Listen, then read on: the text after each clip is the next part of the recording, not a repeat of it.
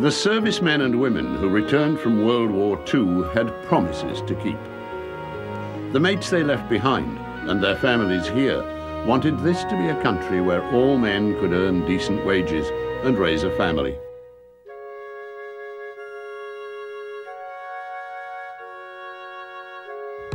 A country where there was a job for everyone who was able to work. The first, most important objective of post-war economic policy was full employment. Despite the ups and downs of export markets or fluctuating oil prices, successive governments achieved that. They restricted imports to protect new industries, created work schemes in the public service, and borrowed for industrial investment or to keep things going till times improved.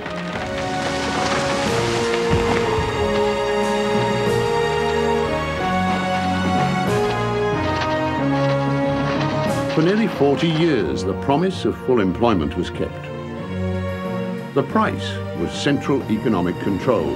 The reward was a wide spread of work and wealth. It seemed a fair deal in a land of plenty.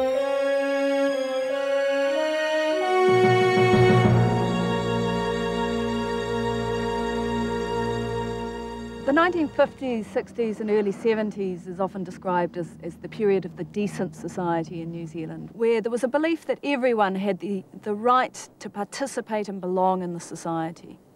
And that meant that people had a fundamental right to a job because you couldn't afford a welfare state, you couldn't afford the sorts of services that people expected unless it was backed by full employment. But full employment was also a part of a decent society, a recognition that having a job was a part of being a part of the community. The early 1980s brought new young leaders who hadn't lived through the Depression and the Second World War. I think there is a period of renewal going on, whether it's inspired by the 60s or the 70s or the 80s. Uh, I wouldn't be sure. But yes, there's been a certain turnover in the Policy Council, there's been a bit of turnover on the executive and the other positions. We've got a new group coming into Parliament. Uh, we're renewing ourselves all the time.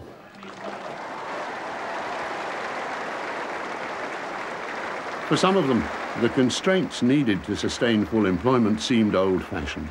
The ideas of free market economists seemed new and exciting you're the party's leading proponent of a, a, more market economic approach. Can you, you know, honestly say that the party is moving in that direction? In some areas, I, am certain that the party is moving in that direction. In other areas, um, I think we probably take a more traditional approach. But, you know, a lot of the policies uh, have yet to be announced, so I certainly couldn't say with any certainty uh, that one is moving in one particular direction or another. In 1984, the young leaders got their chance. Rob Muldoon, who'd controlled the economy and commanded the nation for nine years, called a snap election. So we got a date, Prime Minister? Uh, we got a date, the 14th of July, which we've worked out at Government House as being the appropriate date. That doesn't give you much time to run up to an election, Prime Minister doesn't give my opponents much time to run up to an election, does it? His opponent for Prime Minister was lawyer David Lange, Labour Party leader for only 12 months. And I'd like to compliment you, Sheila Prentice, been in the party now for over 50 years, and I'd like to present you with this gold badge. Oh, That's the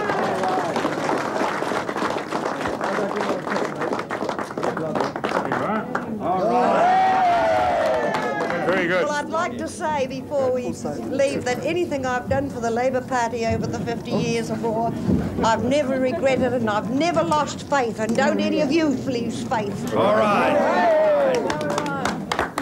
The most important issue the new Labour government will have to face is the approach required to achieve Labour's goals of employment, economic growth, and social justice, and those issues are totally intertwined. I got a little grandson who's just on three, and he can read his own name, and that's about as far as Mr. Lange can go economically. Economically. Oh, he's, he's much better than that in some other things. He's a great talker. Oh, my goodness. He's a great talker. But he's an economic illiterate. And that's dangerous for anyone that wants to head a government. Behind me, we have a Prime Minister.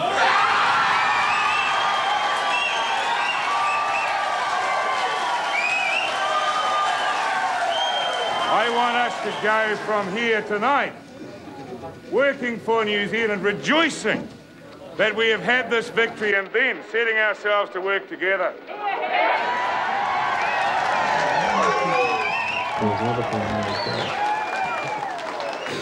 Roger Douglas, you're the person that I guess most people are now picking to take over the finance portfolio. What do you think you're going to be able to do for the country in the economic field?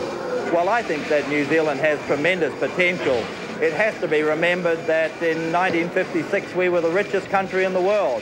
We've slipped down. We can get back there, I believe. New Minister of Finance Roger Douglas wanted to try new ways to get back to prosperity. Encouraged and supported by advisers from Treasury and the Reserve Bank, traditional hands-on economic management was abandoned. Instead, business models and market theories would transform the economy.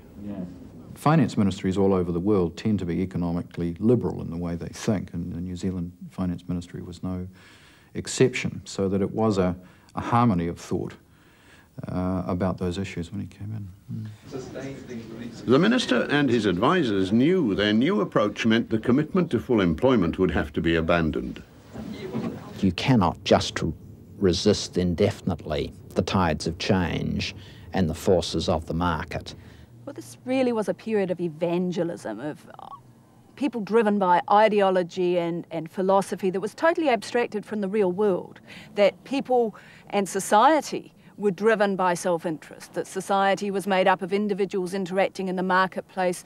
Those who succeeded deserved the rewards. Those who failed were either responsible as individuals or because the nanny state was preventing them from reaching their full potential and from the markets adjusting to the forces that were driving them.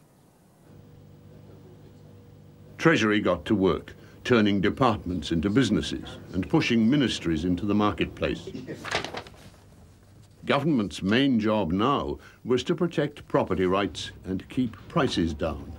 In other words, to get rid of inflation. Inflation erodes the value of money. People with money want to have the property rights in their money guaranteed. So price stability is essentially a policy for the wealthy. But they also argue that inflation blurs the price signals that should guide money and people to the most efficient businesses and jobs.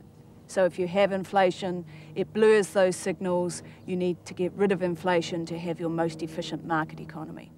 I would see that, that stable prices is a part of your regime of entrenching property rights because you can ascribe property rights but if the value of that property is unstable, the rights themselves are unstable. So price stability has to be seen as the part of a policy agenda that is directed at um, defining and entrenching property rights and an exchange mechanism of those rights. That's what we call a market. Inflation is the number one problem that New Zealand has faced for the last 10 years, and that's what we're trying to solve. They did it at any cost didn't matter about uh, economic growth, it didn't matter about employment opportunities, it didn't matter about the social infrastructure much. You had to get inflation under control, and once you got that under control, then all these other things would happen. The Reserve Bank was given the job of controlling inflation and maintaining price stability. Effectively in charge was Deputy Governor Rod Deane. And I think the really important feature now that we are into this adjustment phase uh, is that we maintain a consistent policy, and that's indeed what the government is doing. Uh, we have to allow for lags. There are lags in the process, and uh, in time, the policy will work as it's meant to work. Roger Douglas, behind his thinking was the idea if we had stable inflation, there would resource use and um, investment would not be as much in housing, but would be more in the areas, uh, export related areas and so on, that would bring us more economic growth. Unfortunately, what he didn't recognise was the mechanism that would be used then by the Reserve Bank to manage um, inflation, which kept inf interest rates high. Because interest rates were so high, business loans and home mortgages were more expensive. So were credit cards and hire purchases. People had less money to invest, less to spend, less to live on. Good morning, Paul speaking. We were paying $500 a month. We're now paying over $900 a month. That's a lot of dough. I actually sell real estate and I've got people spending over 60% of their income in mortgages. Private demand will ease because activity in the economy is easing for a number of reasons, particularly because people aren't spending so much because their disposable incomes have been pinned back over the past six months or so. As spending fell, factories cut production. After a few months, they were sacking some workers. The rumours have been going around for three months and the, and the uh, management have always kept on saying that there wouldn't be any redundancies and uh, that if they things would come right, but now they haven't, and uh, it's frightening for them.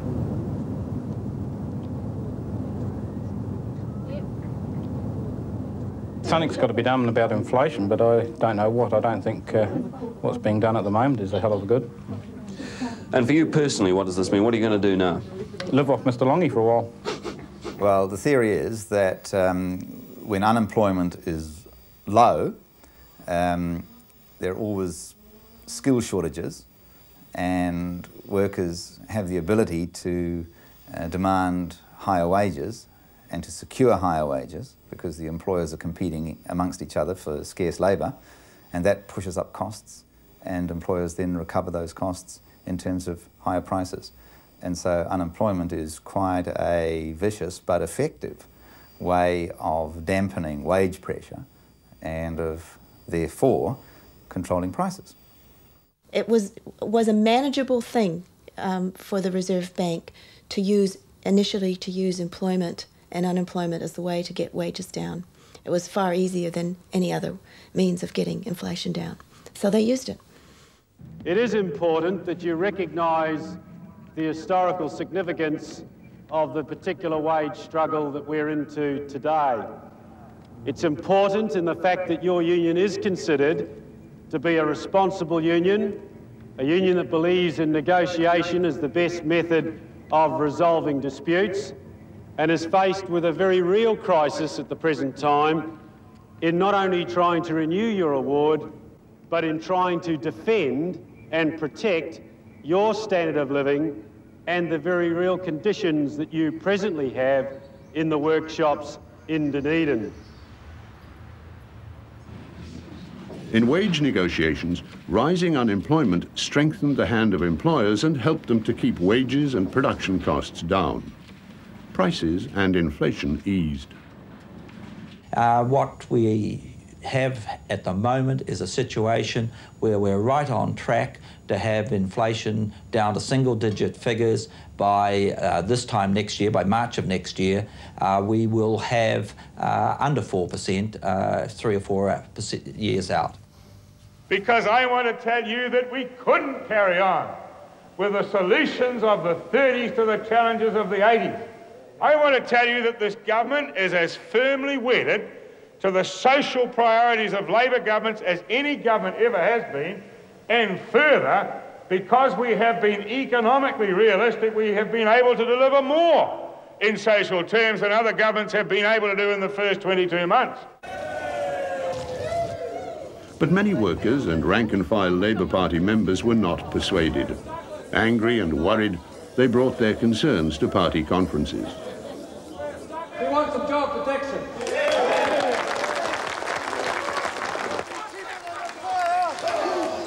Now what I hear in my union, and I come from a delegates meeting just uh, a couple of days ago, is deep anger, and I want to bring that here to you. That's what those people are saying. They see the poor getting poorer and the rich celebrating. They watch these Barclays indexes go up and the joy of the stock exchange.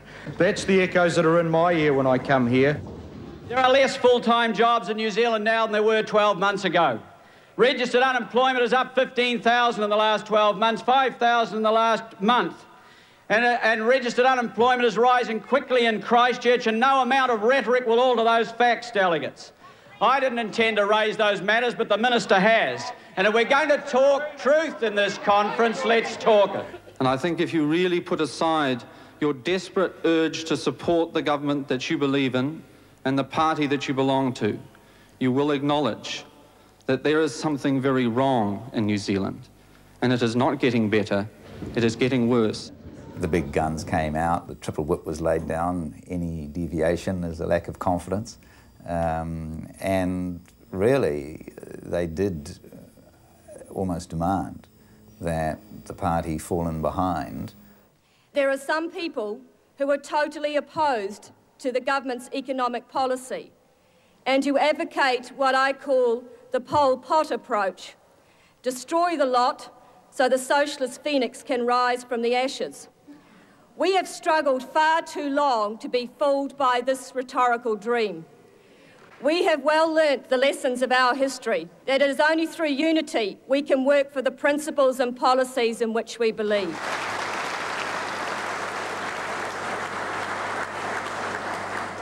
We had 16 votes out of a caucus of, I don't know, 54, 55 to begin with. But there was a very strong theme running you've got to give the government a chance, and you can't oppose it because it's not fair. So the 16 dwindled to 12, 10, 8, 6. and then there was one. It was like 10 green bottles, really. and, um, and even close colleagues like Helen Clark decided the game wasn't worth the candle. For half a century, public organisations like the railways and the post office, the forest service and even hospitals had been used to provide subsidised jobs when full employment was threatened. But now that the overriding commitment to full employment had been abandoned, the government felt free to direct public service managers to treat workers and wages as costs, to be cut where necessary to increase commercial efficiency and profits. Railways is now a dynamic transport organisation, and that means that it, it adjusts to what the market wants, and that means in some areas we're expanding, like the coal wagons. In other areas, uh, we, will, we will contract, and that's how it ought to be. It should never be a, uh, the idea that railways ought to be fixed and never change is just is not a proper way to run a business. Just before the election, Mr Prebble came through and met with the staff and made a lot of promises. One that he would uh, retain the workshops and that under Labour we'd have a secure future and that if we voted National we'd have no future at all, the shop would close. And uh, this place has been running down ever since Labour's been in and it looks like it's likely to close or if not be a very small shop. Ah, e pai ana hau. Ha. Ko nui no atu te rua te ko mawalu tau o i te reri, wai gari ko ngā mea ke i te hui au. Ngā mea utu mōkiti ana, ne, ko mate ko rātou, ko takarātou te ringa wai tua. Well, in one sense, the cutbacks will never finish. We will always be looking to do the job better.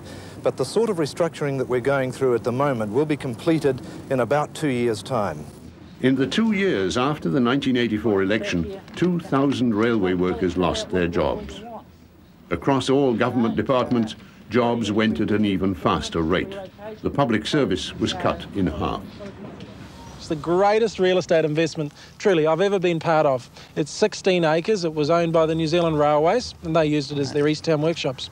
So what I've done I've leased out all the individual buildings. You know, the, the place that used to be the car and wagon repair shop is now a panel beating shop, and where they used to paint all their wagons is that's now a spray painting booth. And we've got work skills programs. You know, these new access programs. Yeah, yeah. We've got the New Zealand Railways. They came and leased some of it. Oh, that was exciting. leased it back off. Yeah, you. leased it back. I thought that was a good deal. Have you managed to, to lease all of East Town? No, nearly. I've got three buildings left to go. I should have those leased by, say, next week, end of next week. But within two years, Clayton Crow's property business was bankrupt. The closure of the East Town workshops pushed Wanganui unemployment to 8% of the workforce. Figures like that deeply disturbed the trade unions. They called on their members to show what they thought of what was now called Rogernomics. This mindless purism, this market madness, it is tearing our country apart. It is ideology gone mad. It is putting the pain on those who can least afford it. Most workers were union members, and the government, especially a Labour government, couldn't ignore the unions or their national conference. While we have reservations about aspects of unions, we have a commitment to the industrial movement which our opponents never will have. While you have reservations about us in government, We are not going to slay you as a matter of principle. And on the basis of that ease of relationship and understanding, together we can produce some pretty worthwhile results for New Zealand. Within the union movement, there was such a, a, a feeling that, uh, well, look, don't let's bugger it up again. Don't let's have just a one term government. Give the government a go. And, and even in the period where the Federation of Labour leadership was really being very, very uh, strongly critical of the of the government. To our affiliates were saying, no, no, don't rock the boat. You've got to give them a go. You have a government which talks and listens. Doesn't always do what you want, but it talks and listens. And it is a government which is pro-union, not anti-union. Previously, the Federation of Labour's principal objective was to maintain real wage values for, the, for, for, for workers. In 1987, we said that's no longer a sustainable proposition when you've got high levels of unemployment. The priority for the union movement must be a political and industrial program about jobs. We've got to sharply address, bluntly, industrially if necessary, uh, the whole question of the government's policy about about uh, job creation and unemployment. Um, and I think whilst the unions voted for that with their hands, uh, they didn't vote with it with their minds because not much behaviour changed. Ever since World War II, governments had helped farmers get through difficult years with price stabilisation schemes and subsidies to keep up farm production and incomes. A stable rural economy was seen as essential to maintaining full employment. But farmers were hurting under the new policies and the Reserve Bank's money controls. If interest rates don't come down and prices don't go up for our stock, we will be in big trouble and we mightn't be here in 12 months' time. We had a married couple here. Um, he left and we decided we'd try and get by with a single boy. And he was here for about nine months and then we decided that he would have to go. Um, I've cut my fertiliser. I'm putting no lime on. Um, we've got a gorse problem on this place. Um, that's just growing. I can't afford to to buy a lot of chemical or pay 14, 15, 20 dollars an hour for someone to spray it. We're going to have farmers walking off the land. We're going to have the effects of that on employment, of the downspending on employment. And if we relate the employment figures that we have, one job on the farm relates to four off the farm, it's going to have a very marked effect on employment throughout New Zealand. Thousands of farmers converged on the capital. It was the biggest out-of-town demonstration ever seen at Parliament. The main demand was for the government to abandon the Reserve Bank's policy of high interest rates to ease the pressure that was sending many farmers to the brink of bankruptcy. No competent farmer will be forced off their land. And I repeat that, that that will be the situation. And we will find ways and means of making sure that those people stay in farming. Fearing a government backdown, the governor of the Reserve Bank stepped into the political arena. I thought it would be a pity if, in the situation of the present downturn, this led to increased pressures on government to try and provide relief to certain sectors. Because I think it is in everybody's interest, and if one's talking about the farming sector, for example, inflation is the major problem which has caused the farming sector's present difficulties much more so than exchange rates, much more so than lower commodity prices, high interest rates, etc. But that's a position, isn't it? I mean, not everyone would agree with you. You've taken a stand. It is a judgment, uh, and I think I'm entitled to make that judgment. Can you think of a precedent, though, of a governor having gone as far? Uh, I can't think of one off the at the moment, but I'm sure it has happened in the past. But there would be many people in the community who thought there should be relief on exchange rates or interest rates. You've taken this position.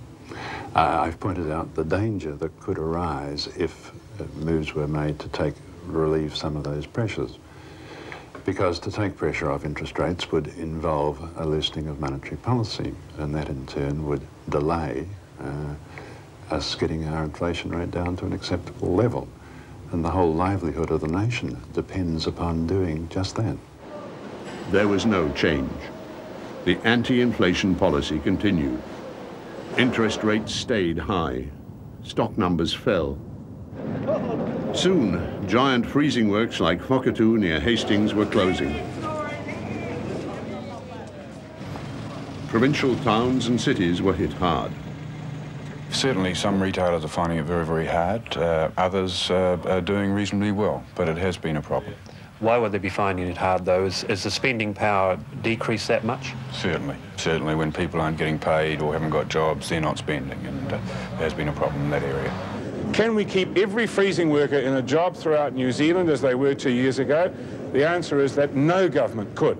So for the people of Whakatu, it's tough, but it's necessary. Is that I what you're saying? That, yes, except remember, they're not just necessarily from Whakatu, they're from all different parts of the area, and sometimes from New Zealand, who migrate there. And there are alternative employment possibilities. But if you were on the Where? payroll at Whakatu, Where are the alternatives? well, I opened a medium density fibre mill in the South Island last week. I've opened tomato processing plants.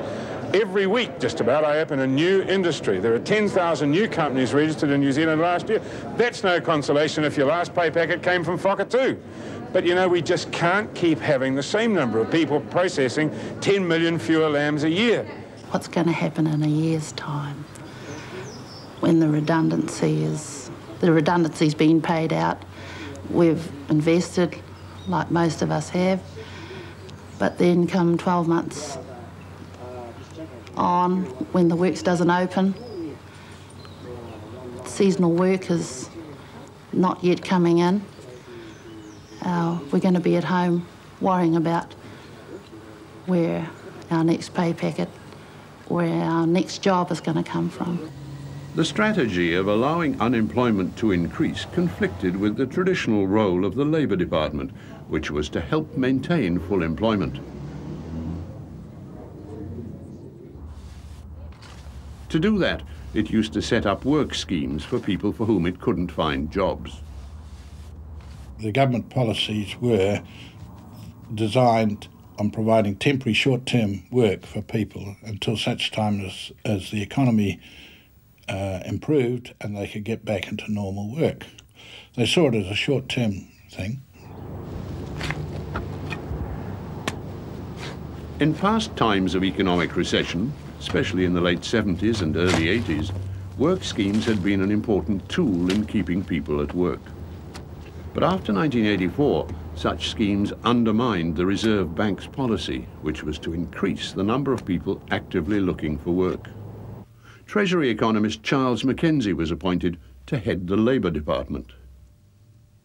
We tried to make the employment centres more attractive. We got rid of all counters. We put uh, employment officers up at the face with the computerized, computerized all the databases so that uh, you could sit with a job seeker and go through the vacancies or go through the details of what they wanted and whether they'd made any changes. You give them advice, uh, set up job clubs, things like that. And you were made redundant from amalgamation of batteries, like February. Yes. Yeah, looks like the last time too. You made Yeah, redundant and as well. last time. Yeah. There was another time there as well. The direction changed to helping people to compete for available work. Not actually get the work, but to be able to compete for it. This was in line with Reserve Bank policy. More unemployed people competing for jobs was bound to drive wages down. Subsidised work schemes were disbanded and replaced, for some, by training programs. How much were you getting in PEP? Um, 230 a week. 230. And how much on this? Um, 136. Would you would you prefer PEP to this generally? Yes. What are you going to do when it finishes, when this training finishes? Oh. I don't know. Probably go back on the dollars. What about you? When you finish the scheme here, what will you do? Oh, just travel around till I find a job. Hopefully. I mean, we, we don't like to sit back here and watch our children on the dole. And I think someone's got to look look into that. Not so much even start now, because when our kids are what 18, 19, what what is there for them? Nothing. So I think someone better get their act together, because it's only going to get worse. Unemployment, you know, that's going to be with us forever, isn't it? If no one's going to do anything about it. Over the three years of the Labour government's free market economic policies, the share market had boomed. 50.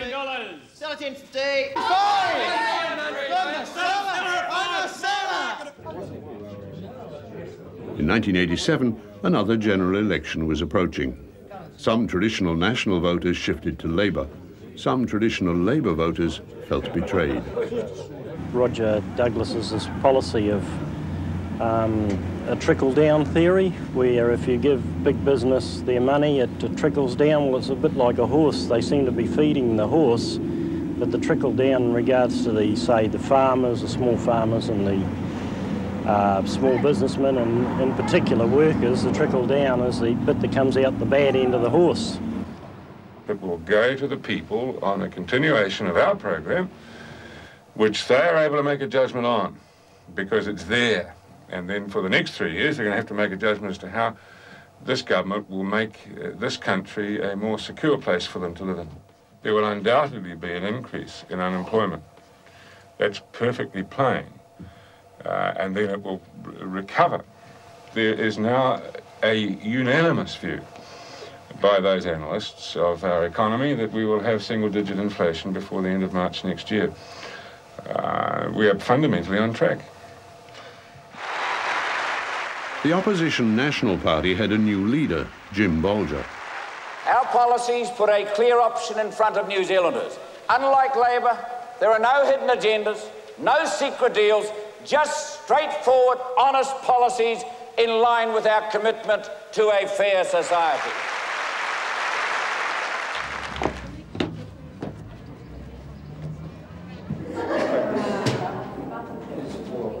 Can I say to you that I find it enormously fulfilling that for the first time since 1938, the Labour movement has been re-elected to a second term in New Zealand Parliament.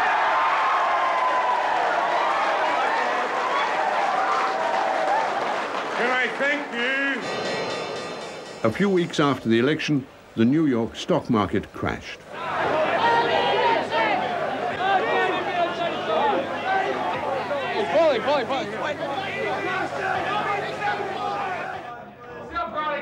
Share prices here tumbled, cutting the value of New Zealand companies by more than half.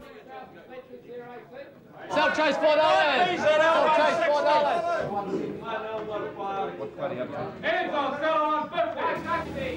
The Reserve Bank responded by lowering interest rates to encourage spending. I think in present circumstances, a downward adjustment in interest rates is quite appropriate. I think uh, that uh, this wouldn't lead to any upsurge in the demand for credit, and we'd be quite comfortable at seeing interest rates come back. Are you generally satisfied with the results today? Yes, I think it's been a signal to the market that we're prepared to keep the system liquid. Uh, and at the same time not depart from the overall stance of monetary policy, which remains with the objective of getting inflation down. The Labour cabinet continued to be dominated by the free market ideas of its finance ministers. I believe that um, the events of the last three weeks mean that we need to accelerate uh, the process of reform rather than stop it. If this regime continues, and we are now coming to the conclusion the government is going to ensure that it continues into the months ahead, then that will simply mean massive closures and a spiraling by this stage and going into a tailspin. So, how safe are the jobs of the 9,000 employees that you currently look after?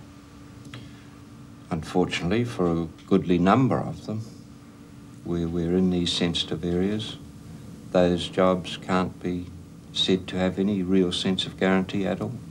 And how do you feel about that as an employer? I feel terrible. So, why don't you get on a plane and go down to Wellington and tell them how you feel about it?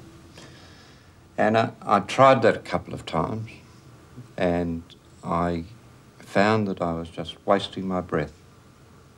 worst of all, I was being patronised and swore to myself so long as that environment existed, I would write about it, but I was no longer going to kick any doors down and be patronised anymore.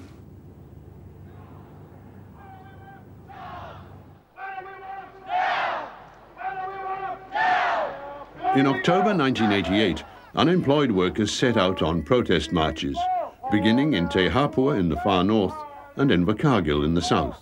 Do we mean? All our children, what do we mean? Unemployed people do have answers, do have solutions to unemployment. We've, we've always had them. We've always known that there's another way than what the government's doing to us. But the fundamental to the whole thing, though, is our demand of jobs that every, every one of us has a right to a job, and we think that the whole um, economic and political thrust of society should be focused on that rather than on abstract political principles such as lowering inflation. That the key thing is full employment, and that it's a human right, um, a human right to work, because work isn't just earning money; it's being part of a whole social context and, and having a meaningful position in life. My name is John Wilson. I'm from Rotorua.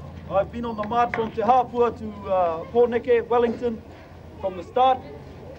The issues that we are raising is that it's a march against unemployment and also a march against injustice. Bosses, big business is saying to the workers, if you don't watch your step, we'll kick your ass out of here. There's 160,000 unemployed out there waiting to take your jobs. You've been used as a weapon against the workers. Years ago, when these people actually established themselves in the community, got jobs out here on the site, being the major employer in the Tokoroa region. They seen themselves as having a bright future and they set themselves up with homes, etc., built families, and all their incomes went into providing an ongoing facility for their family. Now we're at a stage where Tokoroa is being depleted. People are trying to leave town, but they can't sell their homes because they're not worth anything. They need money to be able to set themselves up in another centre. Costs three times as much as what it does to buy a house in Tokoroa as what it does to buy one in Hamilton. And yet it's only a distance of three quarters of an hour away.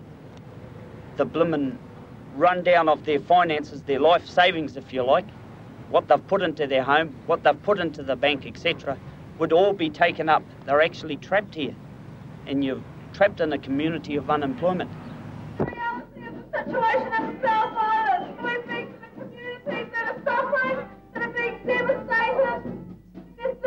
Being closed down. Got here on Ka and I think. Um, the strength of the communities and the love of the people as we're moving through them is just incredible.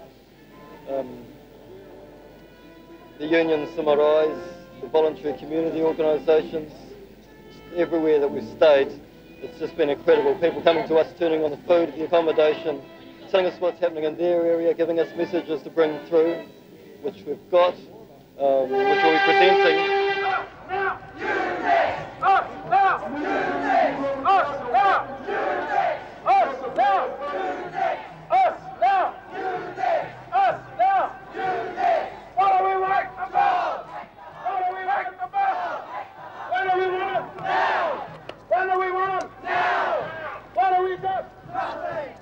It's Good to see so many people here in Wellington. Thank you so much for your support.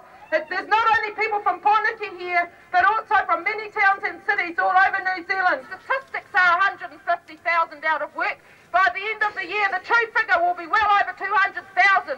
What Mr Goff and his friends up here do not realise is that we're not just statistics, something that the Labour Department puts out each month. We're actually human beings we've given the minister and a number of these other politicians here a series of key demands. For many of us, is for full employment. We demand, as a human right, the right to work.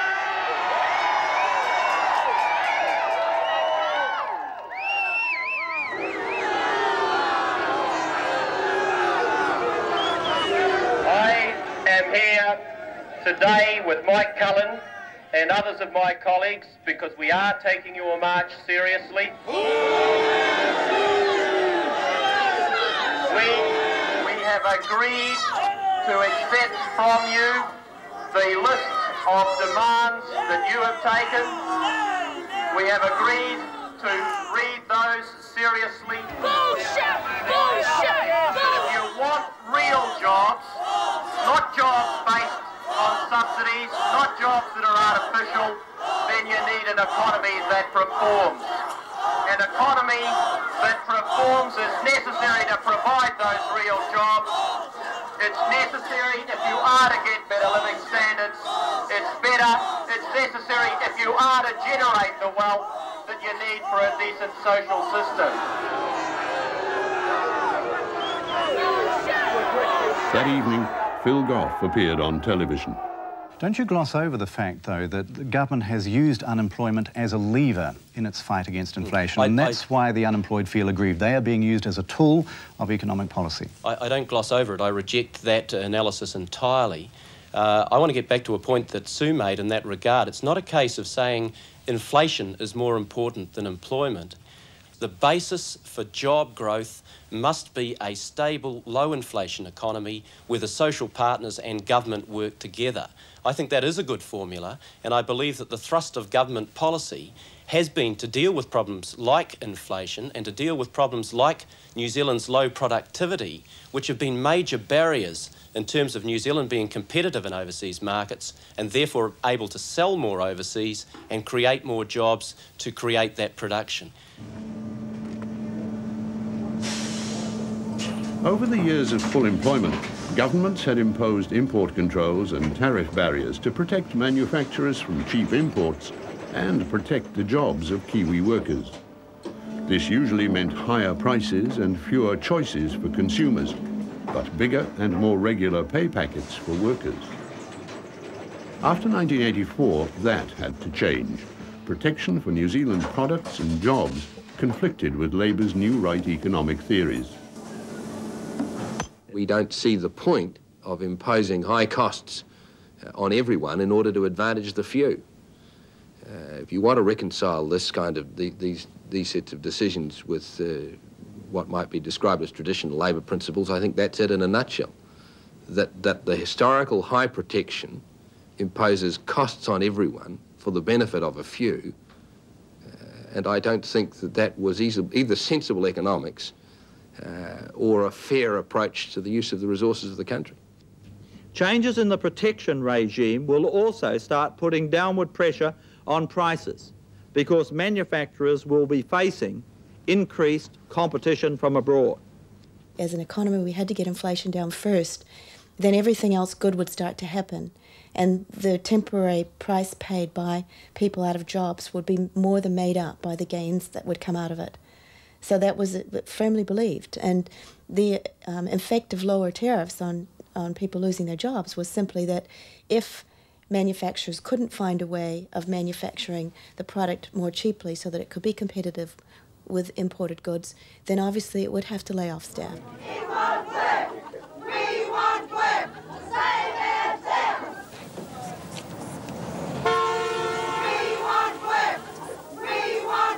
I can tell you this, my people are going down the track now. I've got to sit there and look at them. I've got to go in and handle that uh, part. But I'll tell the Minister this, that if he likes to come along with me at the next big closure, he can come along and talk to those people and tell them how good New Zealand really is under his government. I'm sure they'll be delighted. One day we were caught up into the smoker room and um, just told we had a week left to go. First day, he came over half past three and told us, uh, and with the pay, with our check, you know. So he gave you your pay packets and said you're leaving today? Yeah. That's it, they finished. Well, did you ask about redundancy or did the union? Yes, we asked for the redundancy, but he said no. He got um, no redundancy. The job vacancy scene is very tight. It's very difficult to get into work now. The number of vacancies that are being notified has decreased by a third over the last three years. Uh, the competition for the jobs that exist is very stiff. The number of people who are coming through the door now um, has increased, and in fact, we've had about 3,000 people made redundant since January of this year in the South Auckland region. Uh, they're mostly people with uh, dependents, and this really worries me because the figures themselves tell only part of the story. You know, behind every unemployed person, there could be three or four other people who are suffering equally. Toey, who do you blame for what went wrong at the factory? I blame the government. Why the government? Well, they're the one who know that's why this thing happened, redundancy, because I, um, they import cheap stuff from overseas, so the company can't sell their one. As unemployment rose, so wage demands were forced down. The cost of living adjustments that, that people now sort of look back on with some nostalgia were part of the cost plus days. Now, we're not in that environment anymore.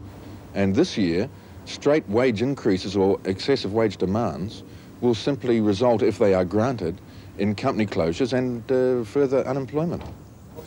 In the 1988 wage round, employers were in a strong position. Union negotiators were on the back foot.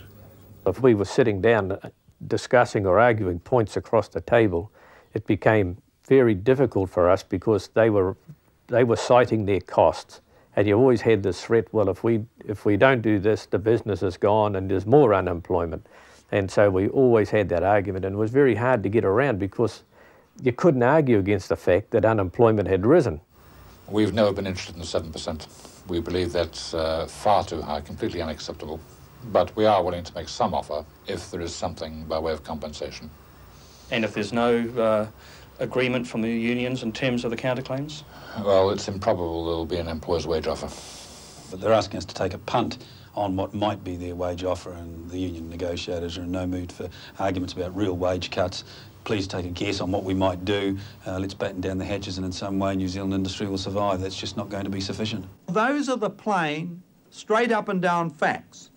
Push companies into that situation, pass what they can afford, and you are pushing some of their workers out on the streets. In today's climate, that, in my view, is a crime. By now, the Reserve Bank had a new, younger and more assertive governor, Don Brash. Wage rises of the magnitude experienced over the past three years are simply incompatible with the stance of monetary policy and so lead directly to company collapses and unemployment. Unemployment is a social tragedy of enormous dimensions in New Zealand, and if we're going to get it down, this wage round has to be settled at a low level and preferably below inflation. The unions organised rallies and marches, but their protest was muted. Not since the 1930s had workers so feared losing their jobs. They would then say, we're going to do something, but they also were saying at the same time that we've got to be careful what we do because otherwise we won't have a job. So they were sort of stuck in their argument. And some jobs did take some action, but a lot of places where the people were pretty feared. It was starting, starting to get to the situation where everybody knew somebody who had lost a job, somebody in their family had lost a job. In 1988, the unions were forced to accept wage settlements 2.5% below the inflation rate. In 1989, it was 3% below. I believe inflation is substantially beaten at this stage, and I think the inflation rate will continue moving down. I would be aiming at a very low rate of inflation. In fact, it's been suggested, I think, uh, I'm not sure whether facetiously or not, that if inflation uh, isn't uh, minimised or indeed eliminated from the New Zealand system, uh, the governor of the central bank uh, should perhaps be looking for another job.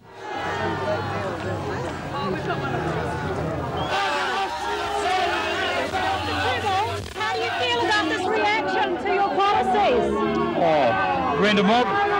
You don't think that is A win. Well, I don't particularly feel like that, but don't care for that much. You don't feel it's a reaction to your policies on selling off state-owned enterprises? Oh, I th- no, I think it's partly a reaction to the level of unemployment, and then in that sense it's understandable. How do you think you I had an electorate committee, I think, of um, something like 20, and uh, they were very solid citizens, you know, heartland workers who would never have missed a day at work in their life, you know, the good day's work for a good day's pay kind of people. By the time we got to 88, 14 out of the 20 were unemployed.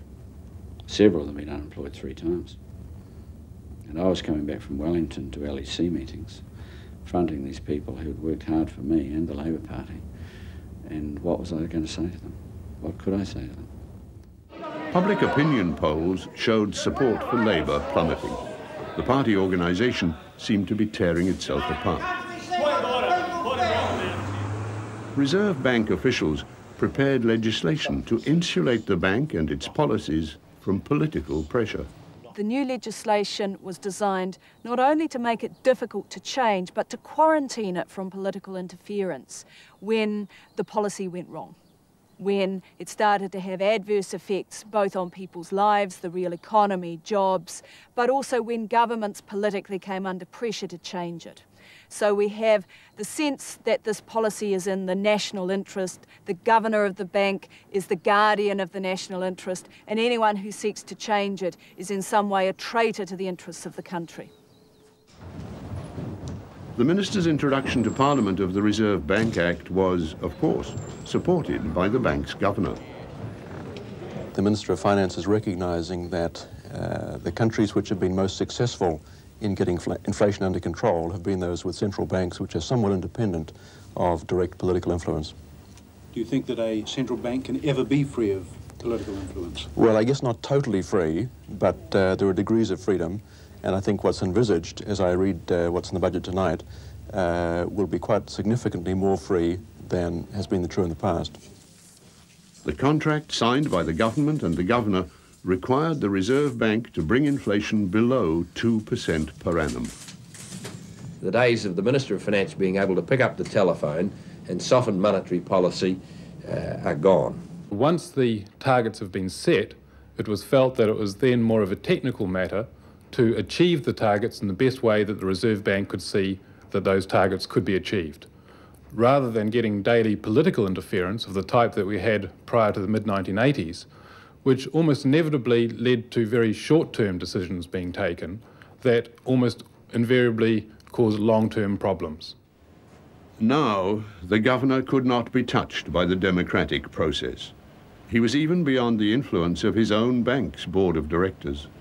When we um, ask for more information about how the bank um, managed monetary policy, um, we would get some special lectures, but we weren't given the role of actual, um, you know, contribution to the, the, the models and so on that were used by the bank um, to look at employment and its impact. So, in a in a sense, we're we're kind of helpless to say, well, is there another way to do it? Um, you're telling us that this is essential, that this um, rise in unemployment and um, capping of wage growth is essential for us to get price stability so that we have uh, long-term um, growth in the economy. But can you, can you, could you have an alternative path?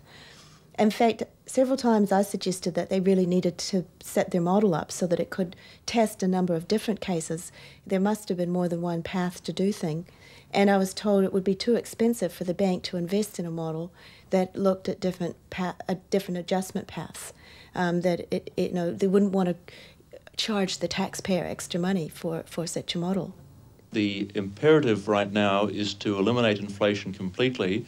Uh, we're making very good progress on that, but inflationary expectations are still much higher than the actual level of inflation, and we have to eliminate that inflation, eliminate it quickly. Tight money policies, therefore, will continue under your regime. I'm very much in favour of eliminating inflation as the most important single thing to do at the moment. Unemployment continued to rise, but the trade unions were using every legal tactic they could to keep wages up. Reserve Bank theory said inflation would fall if wages could be pushed down more rapidly. Bank officials urged the government to liberalise labour laws, abolish the minimum wage and break down trade union powers to defend wages and conditions.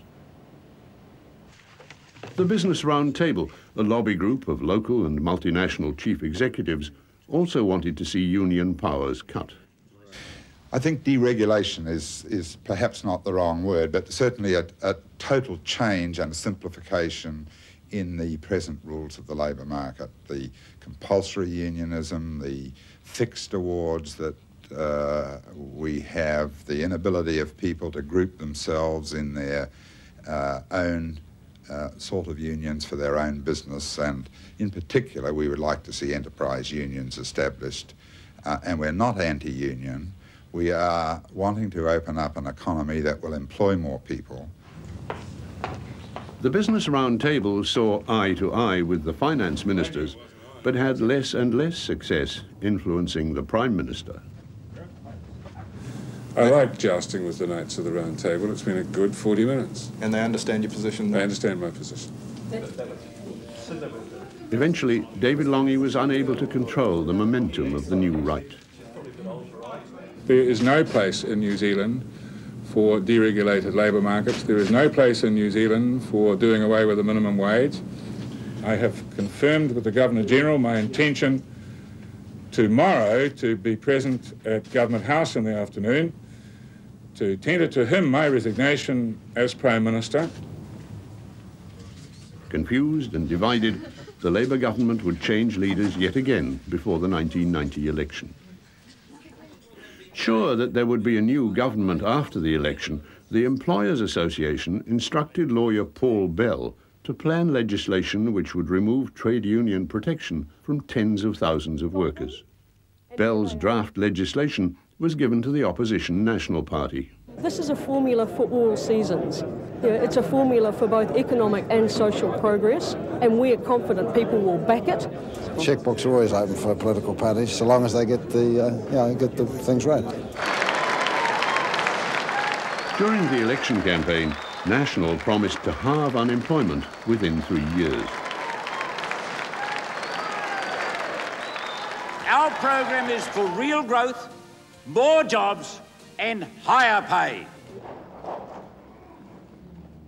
Many traditional Labour supporters stayed at home. National won in a landslide and was to govern for the next nine years.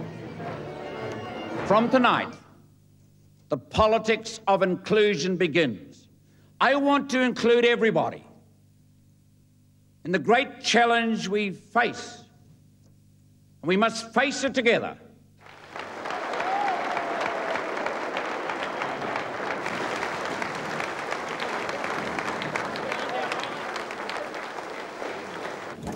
Thanks. Welcome to Treasury. Thank you very much. Can I, can I introduce you to some of my colleagues? Now, the big four monetary forces, politicians, Treasury, business and Reserve Bank, were all aligned.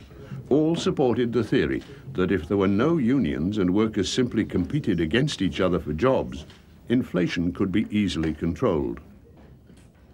I recall uh, Ken Douglas and I going to see Graham Scott, who was Secretary to the Treasury just after the change of government in 1990, because Treasury had been very um, positive in terms of the need for labour market deregulation. And we said, well, how do you form this view? I mean, you don't come to the market, you don't meet the traders. How do you give policy advice on what should happen in the labour market? And uh, his response was theory tells us the answer. Uh, and theory said labour markets have to be highly centralised or highly decentralised. It's not realistic to expect high levels of centralisation, and so high levels of decentralisation is all that's left. The extremism of their of their thinking and um, the, these flights of fantasy that they sort of engaged in about the this this this place where all this sort of free movement of things happened. It, it was so, it, was just so unrealistic to the reality of, of New Zealand life that I, I found it difficult to take, take him seriously. Six weeks after the election, the new government prepared to pass the Employment Contracts Act. It is policy which is developed to suit the situation in New Zealand, and it is the result of several years' work. I believe the real reason behind this legislation is to get at the wages of the low income workers. That's the real reason. Despite protests, the Employment Contracts Act became law. Over the next few years, union membership would drop by tens of thousands. The effects on wage levels tended to happen when people changed jobs.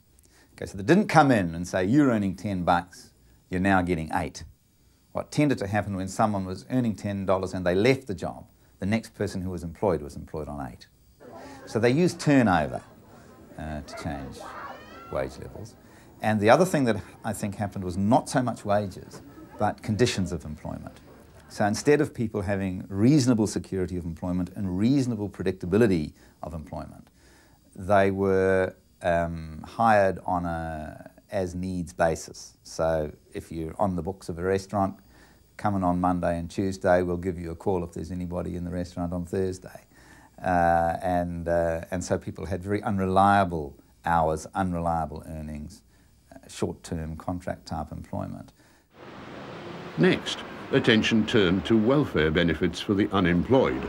They were too high, it was claimed, and were undermining the Reserve Bank's strategy to get wages down. The real criterion for assistance was need, and it didn't matter how the need occurred, if a person was in need, they ought to be helped. Uh, and they ought to be helped to the level in which they could participate and belong in New Zealand society and eat the same sort of food as other New Zealanders eat, play the sort of games, wear the same sort of clothes, partake in a modest way in the same sort of uh, entertainment and social life. Uh, that had been the single uh, focus for the system. Free market theory said that when there wasn't much difference between a low wage and the dole, beneficiaries had less and less incentive to look for work. The Reserve Bank wanted the unemployment benefit lowered.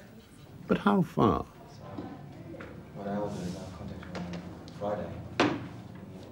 Treasury's social policy branch tried to determine what American economists call a minimum income standard. In other words, a poverty line. I have responsibility for family assistance and sole parents, and have also been looking at work on adequacy, how you define what an adequate income is. Treasury economists Marianne Ainsley and Edith Brashares based their calculations on home budgeting plans developed by Dunedin researchers. We have very good dietary guidelines and we are aware of the quantities people need to ingest all the nutrients that they need. We make up a sensible amount of food that a man, a woman, children of different ages will eat in one week. Those researchers had come up with four food budgets, liberal, moderate, basic and low. The low end is that some people wish to be very careful about how much they spend on food. Some people have excellent skills, they can cook well, they say, I'm quite happy to take low cost meats, cook them long and slow, spend time preparing everything from scratch. For their treasury calculations, Ainsley and Brashares took the lowest budget food plan as their baseline.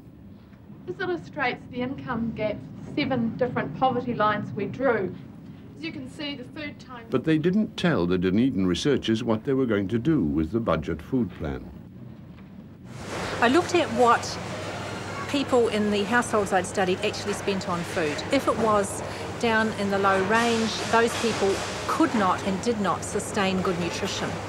So it seemed to me it was not a good thing to put out a low range because while originally we felt there were people who had the skills to eat well on that, current observation was saying current observation was saying that people did not have the ability and skills to eat well if they only spent what we considered a low uh, budget amount. Ainslie and Brashares took the low budget and reduced it by 20%. No, no, it's just I mean, At that level, they calculated what Treasury called the New Zealand Income Adequacy Standard. Treasury officials used the standard as the basis for new welfare payments. By the end of this day, Mr Speaker, the new government will have moved to harmonise monetary, fiscal and labour market policies in a manner that will lay strong foundations for sustained growth and substantial reduction in unemployment. Thank you. All welfare benefits were to be cut, with the biggest reductions for people on the unemployment benefit. suddenly, just a few days before Christmas, less than a week before Christmas, uh, we were there in the office on the Wednesday afternoon, I think it was, and my uh, manager came and said, look, he said, they've made an announcement in, uh, in Parliament and uh, here it is. And it was quite short, uh, just two or three pages, but it uh, completely uh, overtook anything that we might be planning to do. Just in, few, in, these few pages, it had completely changed the whole uh, way in which the welfare system had been developing over the last, well, best part of 50 years. There is some work out there that uh, people currently decline because they say that they are better off on a benefit. One of the major reasons why this government has had to face up to doing the things that we announced uh, is that we need to create the gap between work and welfare. Dr. Brash, are the savings announced today sufficient to take the pressure off monetary policy? Uh, it's quite clear that the changes announced have been uh, substantial, and uh, we've issued a press statement today already. Uh, in fact, I think it's issued roughly contemporaneously, uh, indicating that we believe the changes have been very constructive in terms of taking the pressure off monetary policy. The unemployment benefit for single adults was cut by a quarter. Hi, um, I was just wondering if there's any job vacancies available. No, nothing at all. I'm sorry. Thank okay. you very much. Right I go down to warehouses and factories all through Penrose, Otahuhu, Onehunga, Avondale, which I've been through and got nothing. You say you've been around here. You've been well, along Rosebank Road? Yes, I've been just to just about every factory down here and every shop. I've been over here, all the way down here to these shops down here, through Sontana, Cadbury, right through there. Will the um, benefit cuts make you try harder to get work, do you think? I can't try any harder. In Kaitaia, on the day benefit cuts came in, unemployment had already reached 15%. Things like um, what, what had been set aside for, for rates and power and that, which was before the sexual uh, cut come in, it's all had to be altered now. If you pay your bills, you can't do any grocery shopping. And we end up with $36 a week for our food shopping. And you can't do it with $36. Right, so you've really felt the cuts have affected you quite badly, have they? They've come in about. Soon, thousands of families were relying on charity for their food. From this time last year, it's tripled, and it went up, doubled the, the number in a month after the benefit cuts came in and it's going up. Mm. And it's different people coming in. This is an interesting mm. thing. I don't know whether you're getting different ones. Yes, we are. Yeah. But the, the, the people are coming in are new people. They're not they're not ones that have been coming all the time. You find they're really embarrassed too. They yeah. are. They hate it. Yes, they stand there sort of twisting their handbags, don't they? Mm. Putting their heads down.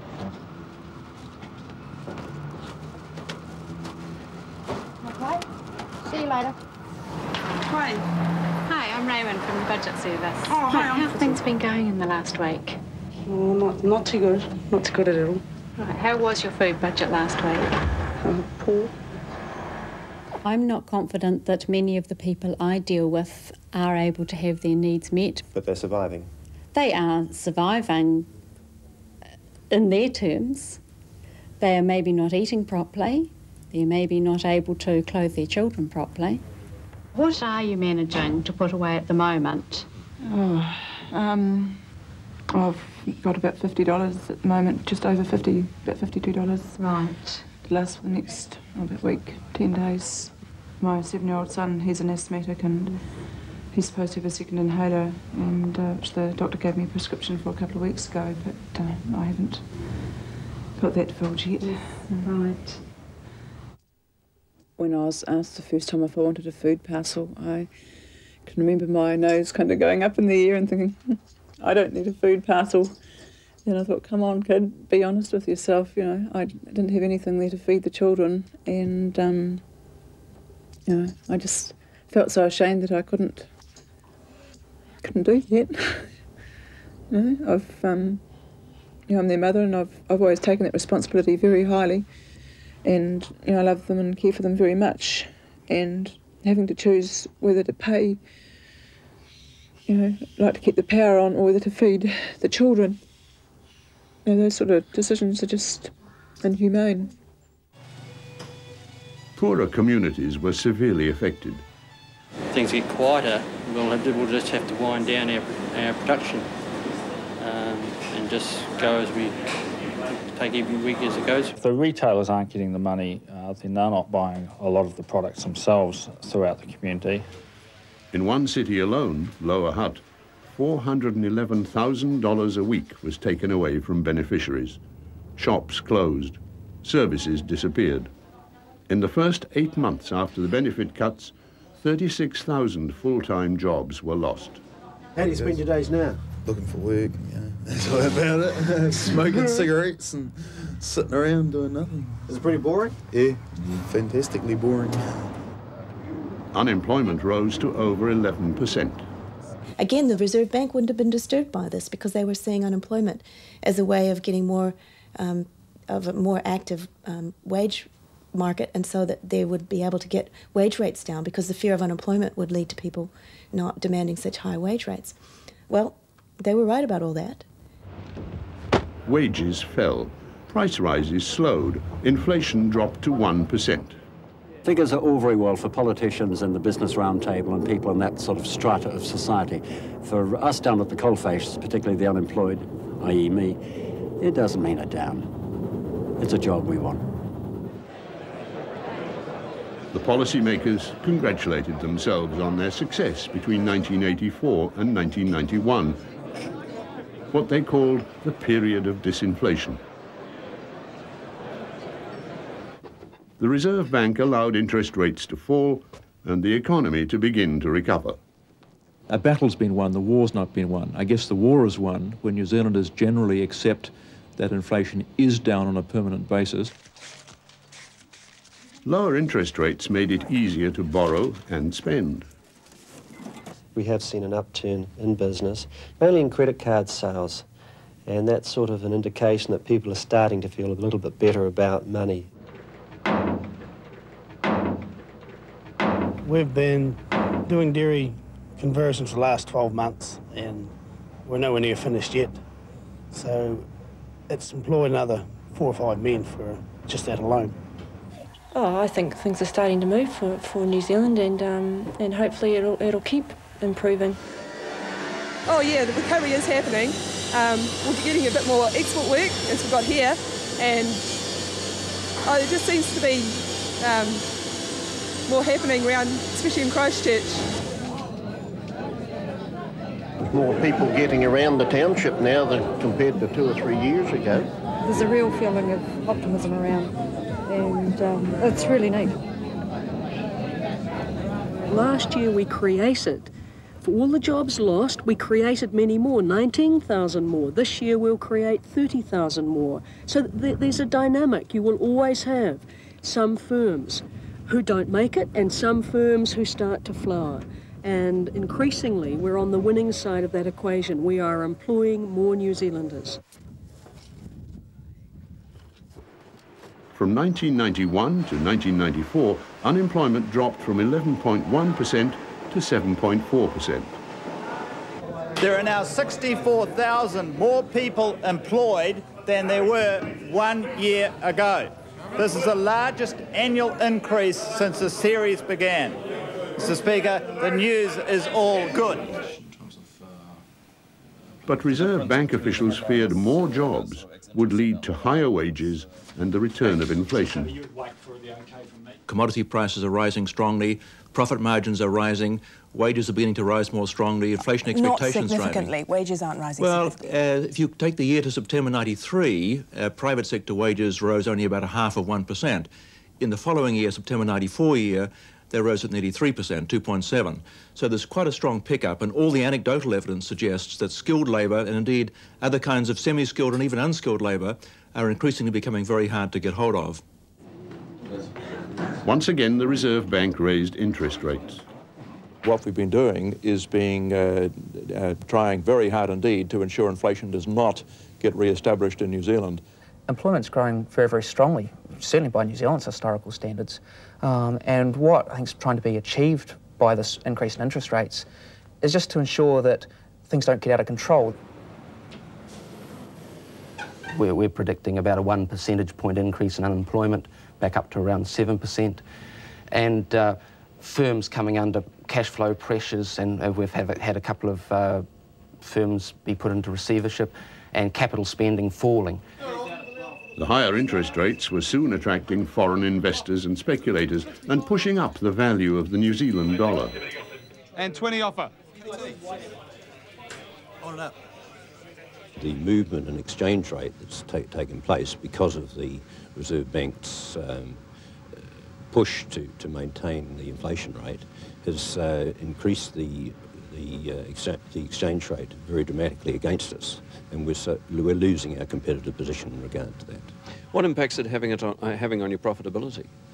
Well, it, we can't increase our, our selling prices because we're in a very competitive market, and so we have to absorb any movement in the exchange rate by, uh, by just reducing our margins and lowering our profitability. The Reserve Bank has always denied that it had an operating unemployment target. Um, but whenever unemployment got close to 6%, the Reserve Bank used to get very, very nervous uh, and uh, used to start putting the foot on the brake. Uh, so I would suspect that even if it's not formal and stuck up on a notice board, lurking in the back of the minds of the Reserve Bank um, policymakers is this notion that below 6% labour shortages emerge, wages pressures intensify. The Reserve Bank thinks that if you let unemployment drop, the workers will get bolshy and start demanding higher wages. They may be right about that, and they may be right that higher wages would lead, at least for a while, to higher prices. The question is what happens after that. The Reserve Bank is worried that once you let inflation get away, it'll keep getting away. Uh, other people think, no, that if you get unemployment down, uh, those workers will become more productive, they'll make things, and in fact, in the long run, you can have lower unemployment without runaway inflation. From now on, the Reserve Bank would manipulate interest rates so that at any given time, 100 to 150,000 Kiwis would be unemployed. Keep coming and looking on the boards as well. You're welcome.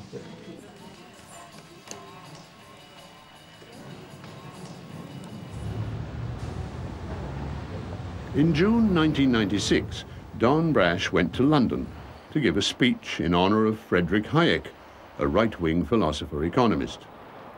In his speech, Brash called for privatisation of all state-owned assets, criticised the Employment Contracts Act as not going far enough, and advocated more privatisation of health, education and social services, all, he said, progress towards the dream of a truly free society. I'm uh, giving a series of briefings to institutional investors here in Europe. Uh, I do it each year. Uh, just they have an interest in what's going on in New Zealand, and I, I talk about that. Why do you think there is such an interest in the New Zealand economy? Oh, I don't think that's difficult to answer. I think there's been uh, uh, quite intense interest in the reform process over the last decade, and uh, some of that's reflected in, in uh, strong interest in offshore uh, government circles and indeed offshore uh, institutional circles to buy New Zealand government securities. I mean, there seems to be a lot of admiration for what's happened in terms of the New Zealand economy. I mean, in your speech the other day, you said that it's important to carry on that work. Is that, do you think, how overseas investors would see it as well? I don't want to comment on that. Thanks.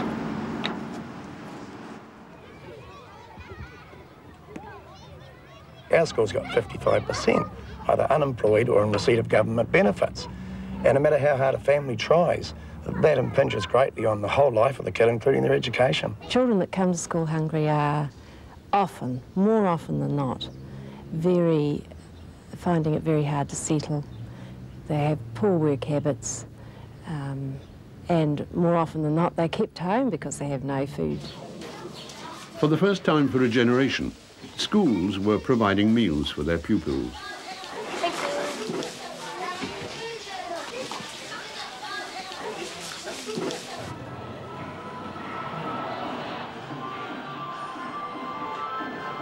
These kids feel second rate. Why? Who's given them that message? They didn't get that message from the womb.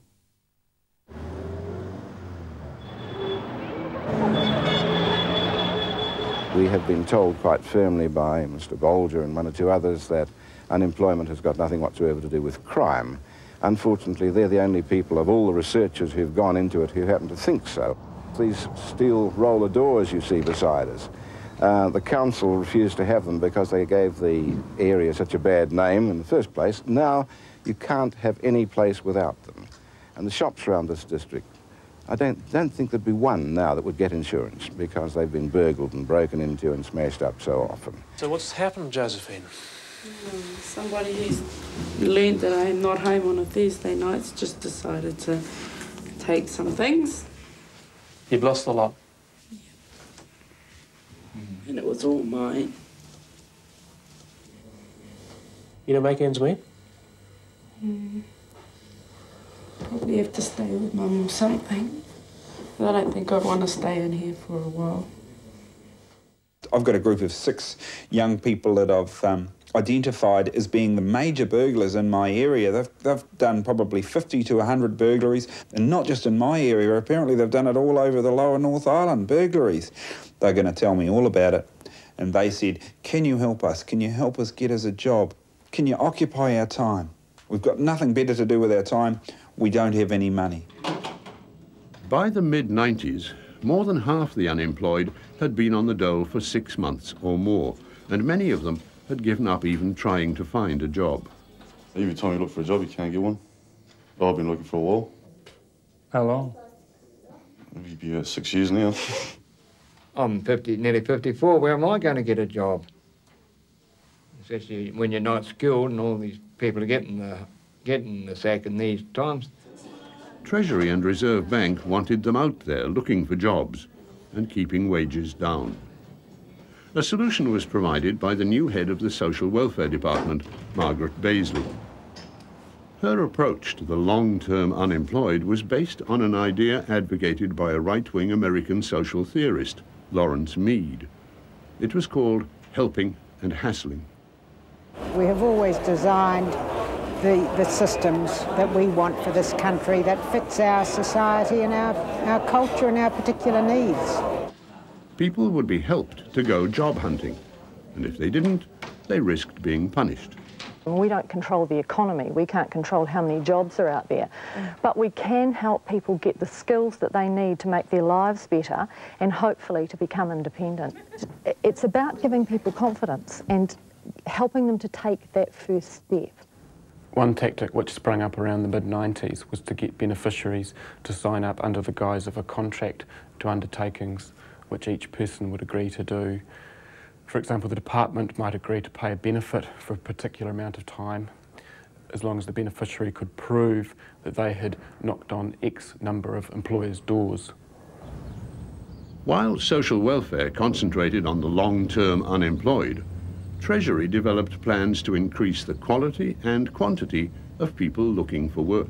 No longer do we want people just sitting there on the dole making no progress, really wasting their lives and destroying their future. The dole was scrapped for under 18-year-olds.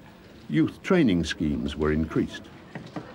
It'll give the kids much more incentive to th think about their options, particularly those at risk who are currently unemployable or in the future might be unemployable, will become employable. Solo parents with children over 14 and husbands and wives of unemployed people would now have to search for work if directed.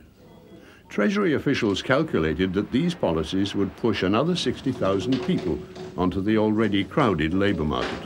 Don't panic, plenty of time and we've got plenty of forms.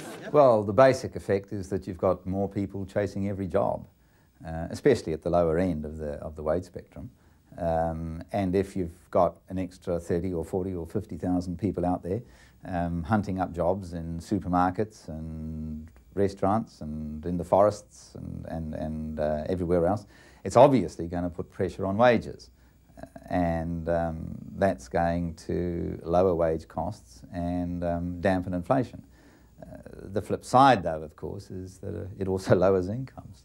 Uh, but of course, if your sole objective is to control inflation, you're not terribly worried about the personal and social consequences of that. The government continued reducing tariff and import protection for New Zealand manufacturers. If a pair of underpants costs you 20 cents now and they're imported from Taiwan, they're going to be reduced by 15%. Over the next five years, they're going to be 15% cheaper, aren't they? Shirts for policemen and women were no longer made in New Zealand. It was cheaper to have them made in Indonesia. What's the government up to? Why are they letting this? Why are they letting these orders leave the country? They know what it's going to do to businesses, you know, clothing industry, and whatnot. They know that um, it's taking the work away from the workers, and there's plenty of people out there that need jobs. So what are they doing? Why are they doing that to us? At Summit Wool Spinners in Oamaru, workers were told wages would be cut by 12%. We were constantly um, told that if, if we did, not accept the uh, wage cuts, that, that um, cut our hours of work, that they would um, that there was was a big uh, possibility or a danger of the mill closing. 600 of Oamaru's workers were on the dole and looking for work. Summit staff had no choice but to accept the pay cut suddenly I was, I was at work for an extra 12 or even 24 hours a week to, to make that same amount of money that we had before. In some cases, people were unable to work those longer hours, so it meant they had less money coming in. There was less money to pay for school uniforms, less money to buy clothes for the kids or toys for Christmas. Since the 50s, import restrictions had been used to keep Kiwis at work in car assembly factories. Now, tariff protection was completely removed. It means, of course, that uh, uh, this plant uh, cannot continue to operate uh, with, with no tariff protection. Oh, yeah. Very sad. Very sad day. Lose a lot of friends. Yeah, and sick in the stomach, really. You know, people of my age, where am I, where, how am I going to get a job? The car assembly industry was closed down. 6,000 jobs were lost. The assembly machinery stripped out of New Zealand factories was shipped to Africa and India.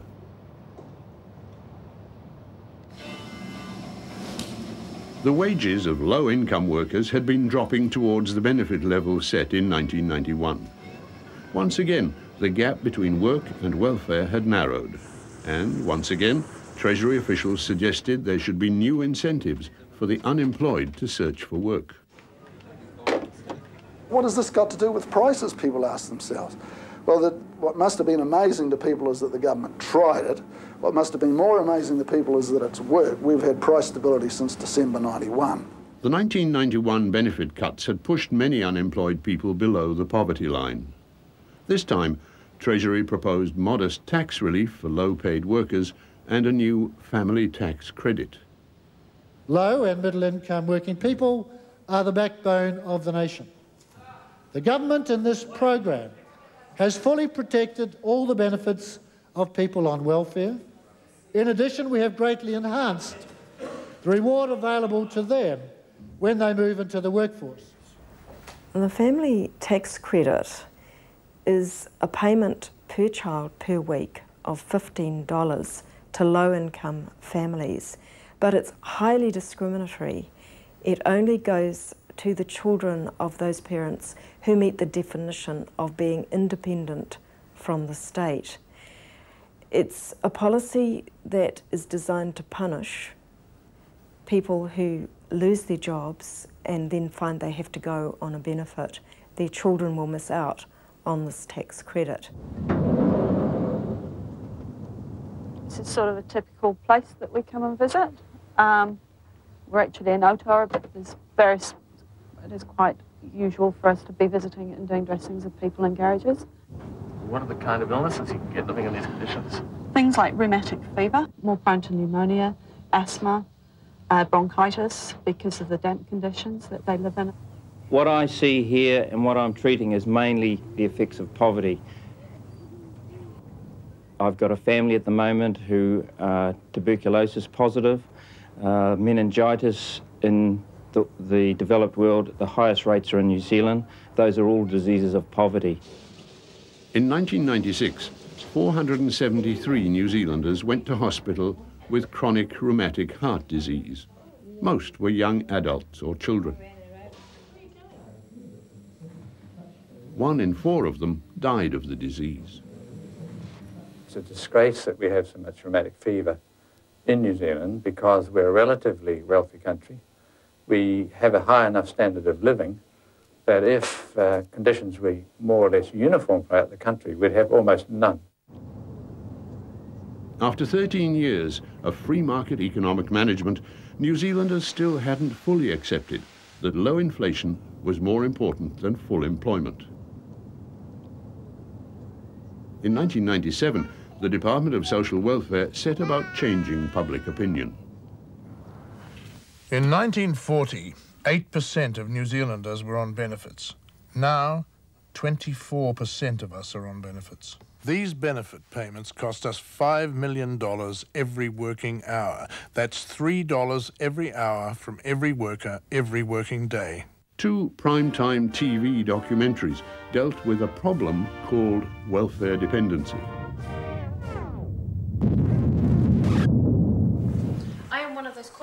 Quarter million kids whose sole provider is the welfare state. Whose sole provider is the welfare state. They say that 32 cents in every tax dollar is spent on the benefits. But where is it getting us? We'd never thought of welfare like that before. That, that you know really changed in the 1990s, didn't it? About how we thought about the welfare society. I mean, we were quite proud of it for up until that point, and then suddenly it became a tremendous burden to us. But it was classic propaganda, which is always there to uh, correct or, or, to, or to fill a gap, things you didn't know about, like you know bad things you didn't know about the enemy. Here's the propaganda to cover it, and it was it was a classic piece of propaganda.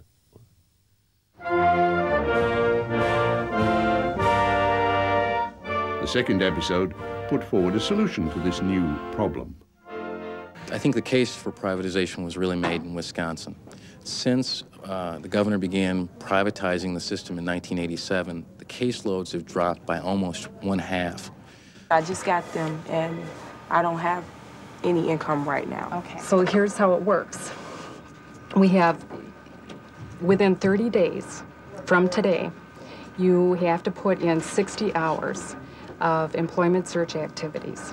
You are mandated as a welfare recipient to participate in the state job service program. And what that means is every day, from here on out, every day you have to go to the job service center. Okay, well, the jobs do you have open? Neither episode of Time Bomb examined why there was more poverty and more beneficiaries. No, but there couldn't be because, first of all, that would have been a criticism of current economic policy of the current government. And secondly, it was better portrayed as a social and moral problem because that fitted in with the rest of the treatment of beneficiaries at that time. If you look at the newspapers and you see how the way, for instance, data matching, the social welfare's uh, data matching programs are treated by the media, you'll see that the beneficiaries were being characterised as a lower class, something separate, that didn't have the rights and the, and the entitlements of ordinary people. Income Support has a team of 104 investigators working hard to catch benefit fraudsters. Last year, we carried out 74,271 fraud investigations. We uncovered $64 million in stolen benefit money. Yesterday, our benefit crime line rang 89 times. If you're ripping off the benefit, sooner or later, your number will come up.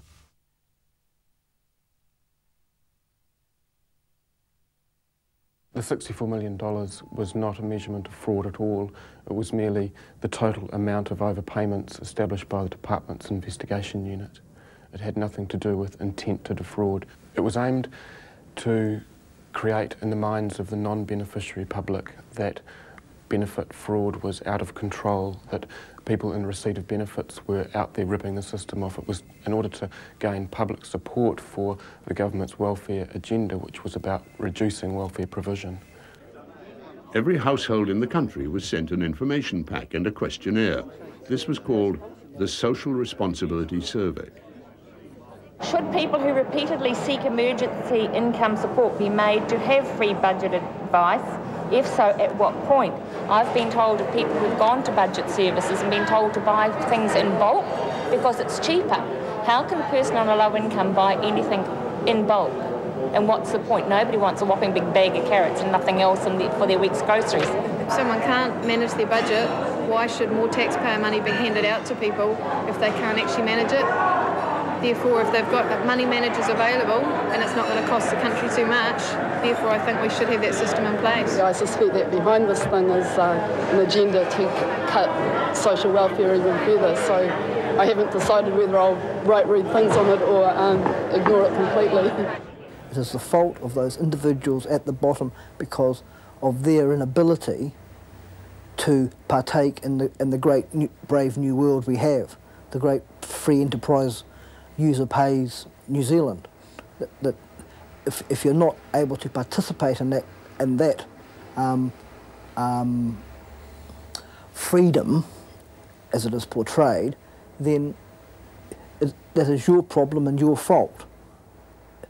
If, if I, on the other hand, am able to participate and get the benefits of that system, um, and then I'm all right, Jack, and I can get on with my life, I can sleep at night knowing that I'm not responsible for the, the plight of others because it is their fault that they're in that situation and it is um, my abilities and my attributes which have put me in the uh, privileged position I am vis-a-vis -vis those at the bottom.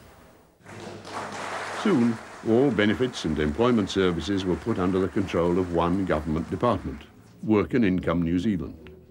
It's really important that everyone in the organisation knows that this is a new culture. This is not the New Zealand Employment Service, it's not CEG, and it's certainly not income support. It is new and it is going to be different.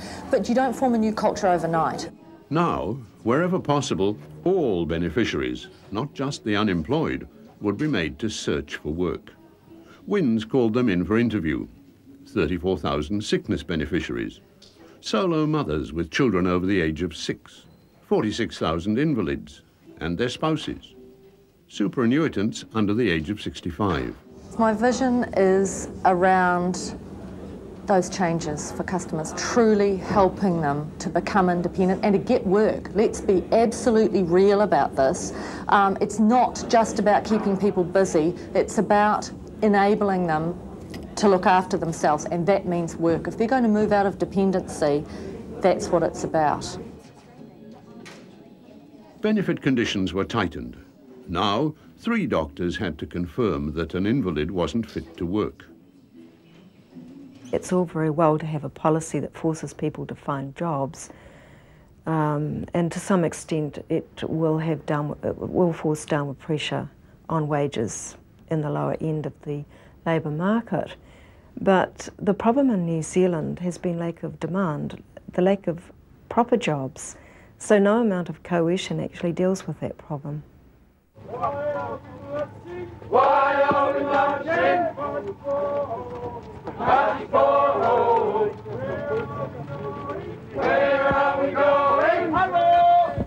In 1998, church leaders initiated a nationwide protest march to Parliament.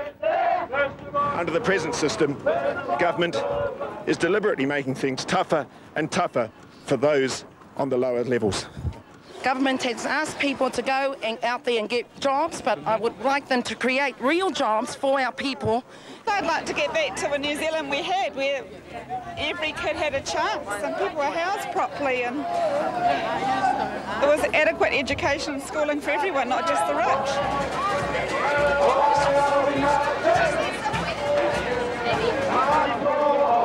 Through this hikoi, we declare to the victims of the market, to those who are the homeless, who in this city tonight will sleep under bridges, sleep in cars, be evicted because the market rents can't be paid out of, out of the benefits.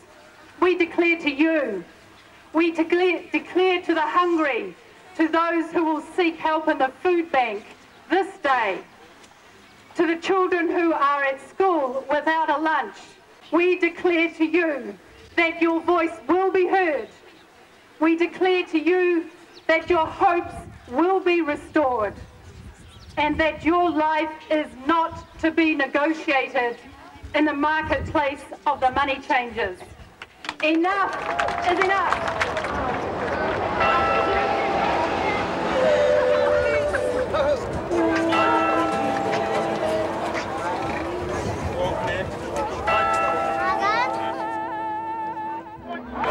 Is determined to face up to the economic challenges that this nation faces.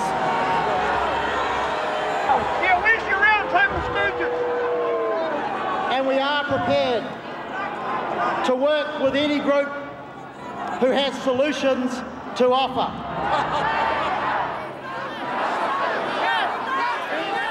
It is a time to acknowledge that there is a growing gap between rich and poor in this country, and that we in this Parliament have a duty to do something about that.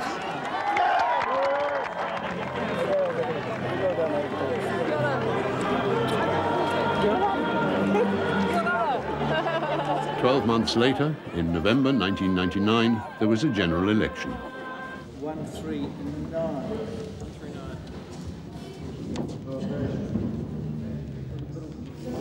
There we go. So how does it feel to be at this stage of the game? Feels good. No, it's going to be a great day, I think. I would like you to please welcome Helen Clark, our very own MP for Mount Albert and New Zealand's first elected woman Prime Minister.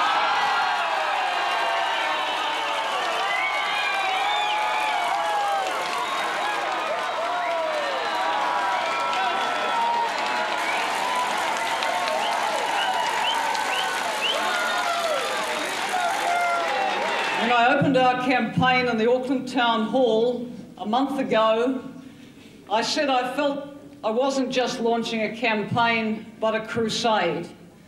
Because I don't think the best values have guided us in New Zealand in the 90s. And I want to change that.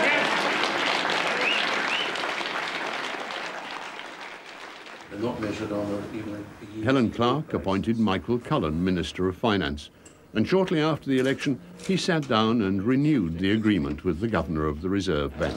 This policy targets agreement is designed to send the signal, I think, of the bank moving further down the path it's been on over the last couple of years, which I think has been rather more beneficial uh, in terms of some level of confidence uh, within the business community and about the near, near to medium term future.